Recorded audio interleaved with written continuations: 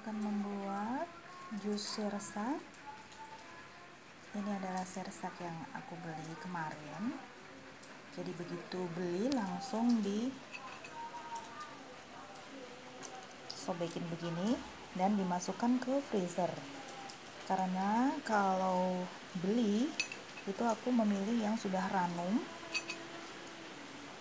empuk dan dia itu manis rasanya nah karena sirsak itu tidak tahan berada di suhu ruang dia cepat busuk maka sampai rumah langsung ku sobek-sobek seperti ini kemudian dimasukkan ke freezer. Nah ini sudah aku keluarkan dari freezer sekarang akan aku buat smoothie.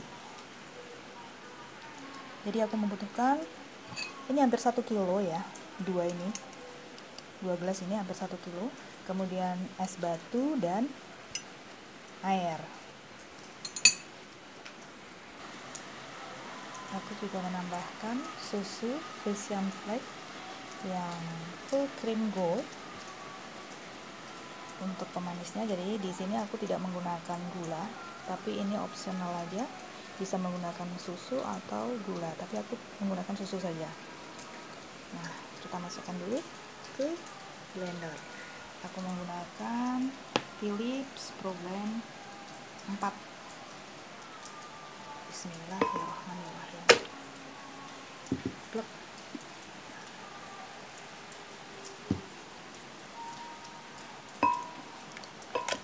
Sirsaknya ini manis sekali tadi sudah aku cicip.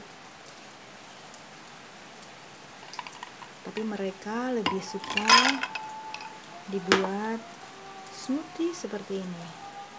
Ini semua bahan dimasukkan termasuk susunya satu sase aja cukup. Kemudian akan aku blender.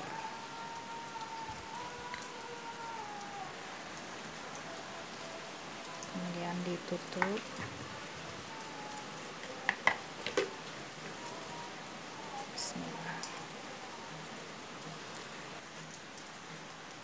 Pastikan sudah terkunci ya ini.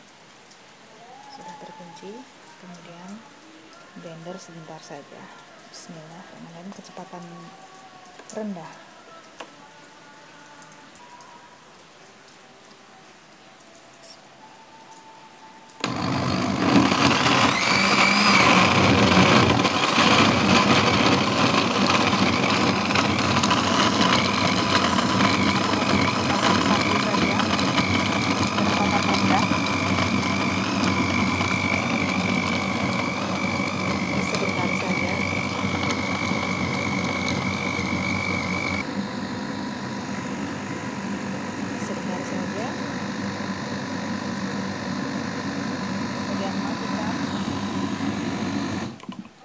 kita lihat seperti apa isinya.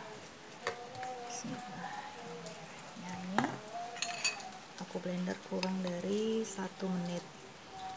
Seperti ini. Kekentalannya disesuaikan dengan selera. Kalau kami lebih suka yang seperti ini. Nah ini. Kalau mau lembut lagi ya bisa ditambah ini tadi kurang dari satu menit ya bisa ditambah menjadi satu menit atau lebih. Seperti ini tadinya